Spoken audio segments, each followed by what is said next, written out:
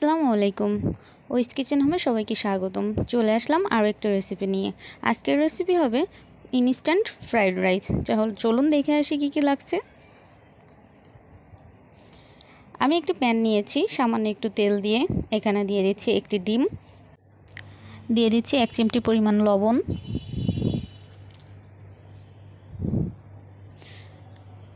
একটি চামচের সাহায্যে এভাবে ডিমগুলোকে নাড়িয়ে নেব।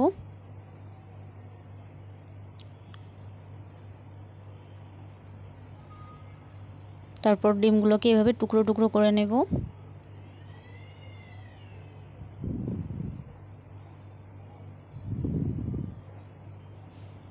ডিম টুকরো করা হয়ে গেছে, এবার নামিয়ে নেব।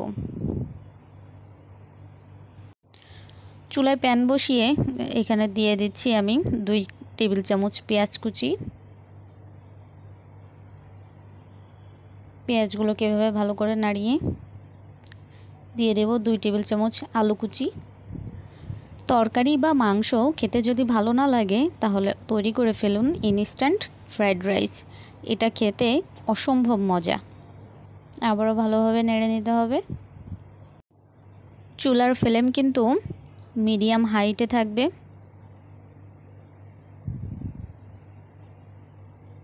এরপর দিয়ে দেব স্বাদ মতো লবণ।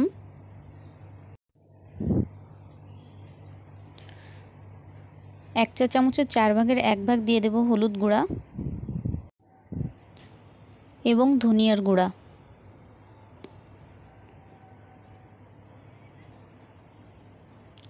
দিয়ে দিচ্ছি হাফ চা চামচ জিরের গুঁড়া। এবার সব উপকরণ ভালোভাবে নাড়িয়ে নেব। যারা আমার চ্যানেলটা এখনও সাবস্ক্রাইব করেনি তারা আমার চ্যানেলটি সাবস্ক্রাইব করে পাশে থাকার অনুরোধ রইল।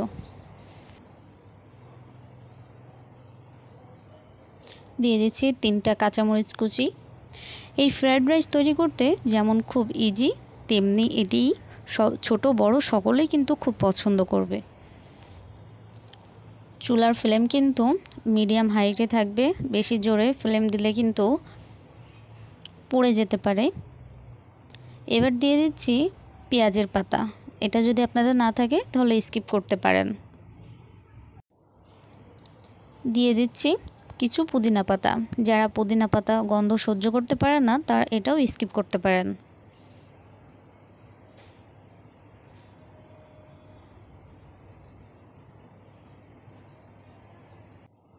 আরও দিয়ে দিচ্ছি ড্রাই ধনিয়া পাতা।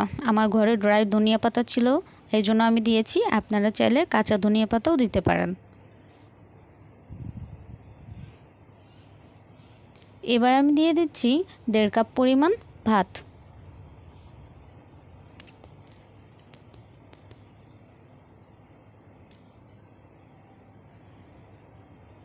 আমি এখানে নর্মাল চালের ভাত ব্যবহার করছি।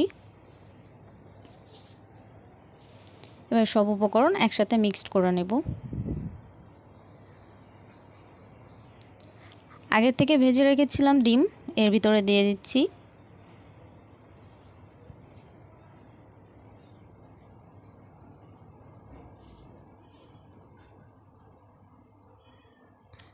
ফ্রাইড রাইস করতে গেলে যেটা না হলে নয় সেটা হচ্ছে ম্যাগি মশলা। আপনারা যে কোনো গ্রোসারির দোকানে ম্যাগি মশলা পেয়ে যাবেন। এখানে আমি এক প্যাকেট ম্যাগি মশলা দিয়ে দিচ্ছি। ফ্রাইড রাইসে ম্যাগি মশলা ইউজ করলে এর স্বাদ দ্বিগুণ বেড়ে যায়।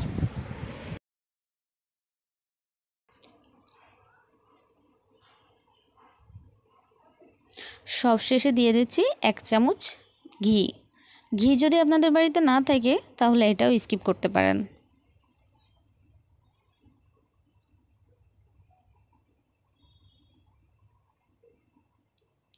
ফ্রাইড রাইস একদম তৈরি। আজকের রেসিপি যদি আপনাদের ভালো লাগে থাকে, তাহলে লাইক কমেন্ট করতে ভুলবেন না। আজ এ পর্যন্ত সবাই সুস্থ থাকবেন, ভালো থাকবেন।